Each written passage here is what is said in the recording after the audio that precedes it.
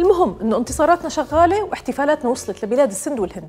أي إنجاز يحققه الجيش العربي السوري على أي نقطة من الجغرافيا السورية؟ هذا يعني بأن المواطن الأوروبي الذي يعيش في أقصى الشمال الأوروبي والمواطن الأسيوي الذي يعيش في أقصى الشرق الأسيوي وفي أي مكان في هذا العالم أصبح أمنه القومي أكبر وأصبح في أمان أكثر لأننا نقاتل كائنات تهدد الجنس البشري والحضارة الإنسانية أينما وجدت على سطح هذا الكوكب.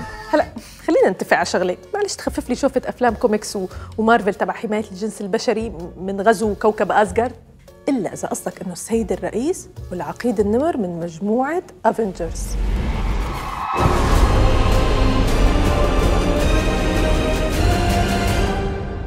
جيشنا دافع عن الكون كله.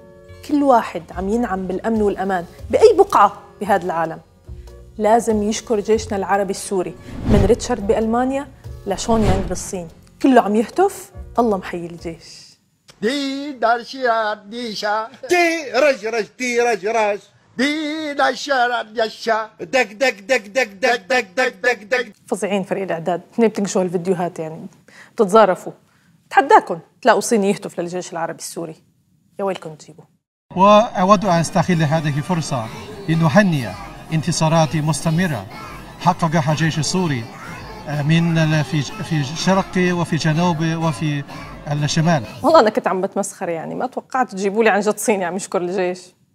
بس ما حلوة منكم فريق الإعداد يعني تخجلوني هيك قدام الجمهور. لتقديم خالص تحياتي وتقديري للجيش العربي السوري الباسل رجعوا لي. رجعوا لي هداك تبع المغامرون اللي عم يحكي عن حماية الجنس البشري. كان طلع كلامه معه حق فيه. في بلادنا ولا سمح الله لو سقطت الدولة السورية واستطاع الإرهاب أن يؤسس لهذه نقطة الارتكاز كان سينطلق إلى في كل الاتجاهات في هذه الأرض وسيبتلع كل ما صنعه الإنسان. أينما وجد من حضارة وثقافة وحضارة وتطور عبر آلاف السنين. ولذلك دائما كنا نقول قاتلنا نيابة عن العالم.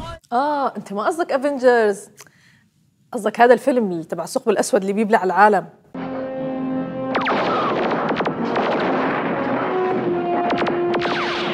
ولذلك دائما كنا نقول قاتلنا نيابة عن العالم.